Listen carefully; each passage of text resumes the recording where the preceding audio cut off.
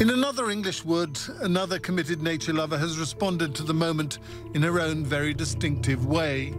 An illustrator by profession, Jo Brown has been documenting her local wildlife in South Devon. But this isn't work. This is simply a personal passion. Black oil beetle. There's five species in the UK. There used to be eight, but three of them are extinct now. And the numbers are drastically declining. Butterfly, by the look of it. Yes, yes, this is a pearl-bordered fritillary.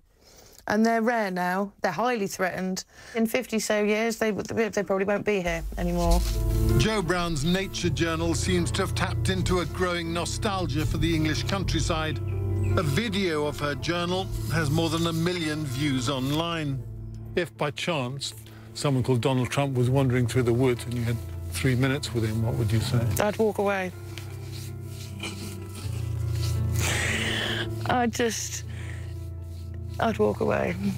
I don't think he'd be in interested in anything I had to say. He'd probably want to turn it into a golf course.